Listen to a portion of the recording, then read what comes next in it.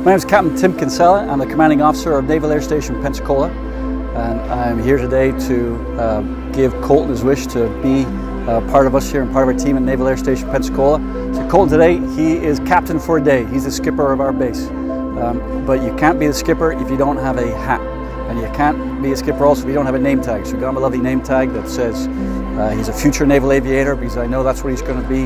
Um, he's a fighter, he's strong. So, but to be a naval aviator, you need to have a call sign. Every naval aviator has a call sign. Mine is Lucky. Uh, so I thought, what call sign could I get for Kohlton? I don't know Kohlton, but I know about him. I know he's a fighter. I know he's strong.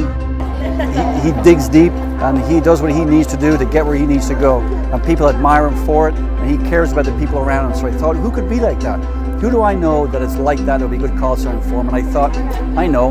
I know somebody who got hurt, uh, made themselves better, um, they help people around them. They're brave and they're smart. So I thought Iron Man. So that's your call sign, Kohlton. Iron Man. Um, and then I also thought, well, you're going to be a future naval aviator. You're join us in the ranks of naval aviation. So your wings. So today you're wearing your wings on your right side, but normally we wear rings on the left side. But when you get better, and when you become a naval aviator one day, I want you to take those wings and move them over to the right side. And those wings are special. They're the wings that I earned when I first got my wings. So they're the wings that I want you to put on your chest, or have your mom and your dad put those wings on your chest when you become a naval aviator one day.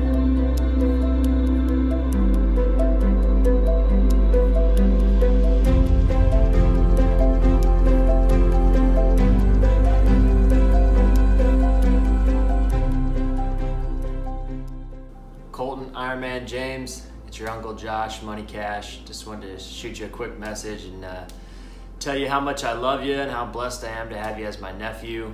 Uh, just want to let you know that I think you're the strongest kid and man uh, that I've ever met since the day you started chemo at the age of two until just today when I got to hang out with you while you're getting your chemo today. You're just such a strong and uh, resilient young man, and I, I, can't wait to see what the future has for you.